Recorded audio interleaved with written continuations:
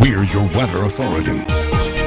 We warn you first. Good morning, everyone. And despite a dry morning, we had quite a bit of rain just outside of Midland and Odessa yesterday. But do notice that Routes by NECA Sky Tracker Midland still dark out there, dry for the next few days, but also a little bit of a warm up in terms of those temperatures as we have been below average for quite some time. Past 18 hours did notice the sweeping motion of those clouds and those rain showers did seem to miss Odessa and Midland, but the heavier rain was just to the west, also just to the east, as some parts just outside of Midland, Odessa, these uh, turquoise colors here and there indicate around a half an inch of rain, and especially places like Lamesa, just outside of Lamesa, actually exceeded an inch of rain. Now, parts of Eddy and Lea County, which are still in a bit of a drought, saw over four inches of rain. So a lot in a short amount of time, but good news in terms of the drought relief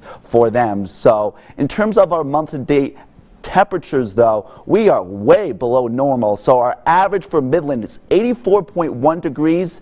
It is 78.2 degrees this year. So all these locations that you do see are at least two degrees below normal in terms of those month-to-date temperatures. My goodness. And for the next couple weeks, I do expect that trend to continue. Last time we were at average was June 26. I don't foresee that anytime soon, although we might get close.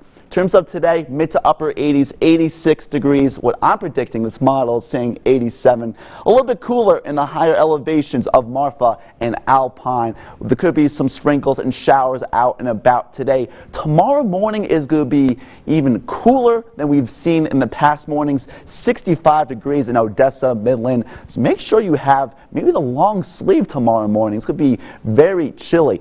86 degrees for our high today, as I mentioned, 10 degrees below our average of 96 degrees. And it has certainly been the trend, and it's going to continue thanks to that high pressure to our west, funneling northerly winds aloft cooler conditions. Now, if you want to go on a walk today, you might want to rethink that, especially as we head in the afternoon commute. There could be some light rain showers, 84 degrees. So again, a little bit on the cooler side. But this model's not quite picking up the rain as much as it really should. Any one of these clouds that you do see could indicate a pop-up rain shower, especially as we head into Eddy in Lea County, which already has seen a lot of rain. Tomorrow is going to be different though much more in the way of sunshine, maybe a couple of afternoon clouds here or there. So if you want to put on the sunscreen or go out for the pool, it's going to be a great day. High, once again, 86 degrees, breezy as well. Now, we do have more changes for the next several days as we do see more in the way of sunshine, more in the way of higher temperatures. My pick of the week will be Friday, 90 degrees. A lot of sunshine early, a little bit more in the way of clouds later in the day because we have a chance of thunderstorms for Saturday. Those temperatures continue to warm up for Monday, 95 degrees and ample sunshine.